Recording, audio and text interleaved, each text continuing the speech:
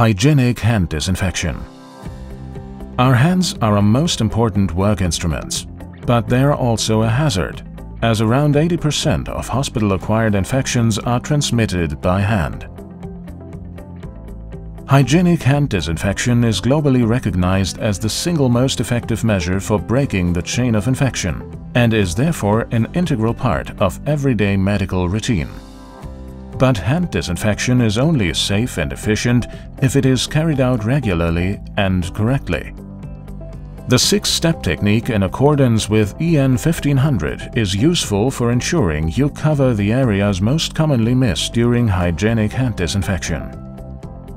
Apply sufficient hand disinfectant to cupped dry hands and then rub the product into both hands for 30 seconds. Step 1. Rub disinfectant palm to palm, additionally rub the wrists.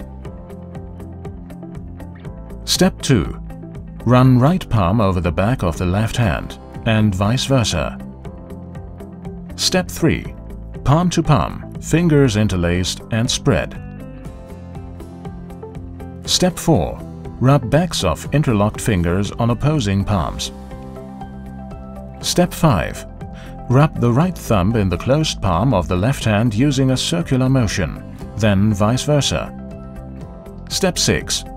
Rub the closed fingertips of the right hand on the left palm using a circular motion, and repeat with the other hand. Apply more disinfectant if required to ensure your hands remain moist during the entire contact time. Following a standardized procedure is useful when learning the technique. However, you can choose your own technique as well. Protect yourself and your patients with Schülke hand disinfectants.